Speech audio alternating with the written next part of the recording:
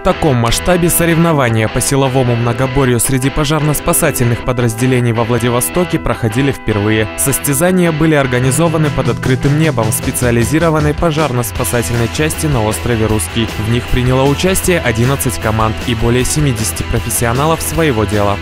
В данных соревнованиях принимают участие непрофессиональные спортсмены, а те люди, для кого сила, ловкость, координация и скорость действий важна при их реальной работе по спасению жизни, при тушению пожара, при ликвидации чрезвычайных ситуаций, в общем, повседневной жизни пожарных. Перед участниками стояла непростая задача – как можно скорее преодолеть полосу препятствий. Соревнующиеся перед линией старта совершали 10 махов гири, бежали к следующему этапу и выполняли 10 отжиманий и упражнения со штангой. Далее – кантование покрышки 100-килограммового колеса путем ее переворачивания.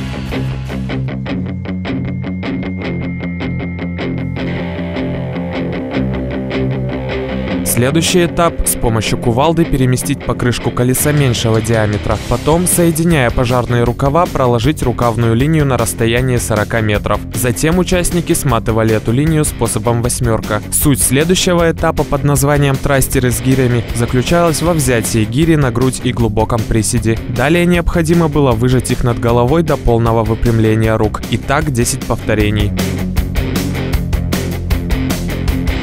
Самые зрелищные испытания были в финале. Здесь выполнялась транспортировка манекена пострадавшего и перемещение автомобиля. И все это в полной экипировке, которую составляют комплект боевой одежды с подстежкой, сапоги, краги, каска и подкасник, ремень и металлический дыхательный аппарат. Считай еще плюс 20-25 килограммов ко всем упражнениям. По эмоциям пожарных и спасателей, вышедших на трассу, было видно, насколько тяжело им давались упражнения, какие усилия они делали, чтобы преодолеть себя.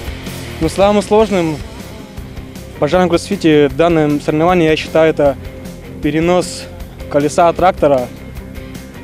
Там самым сложным является то, что надо поймать равновесие и пронести 20 метров его, не уронив. По итогам соревнований победители будут представлять Приморский край на первом международном чемпионате по функциональному многоборью пожарных и спасателей, который пройдет 29 апреля в городе Иркутск по инициативе Сибирского регионального центра МЧС России. Данное многоборье, основанное на принципах кроссфита, впечатляющее спортивное событие. Это демонстрация физической силы, выносливости и высокого профессионального мастерства сотрудников МЧС России. Дмитрий Беломеснов, Сергей Тулатиев. Новости на восьмом.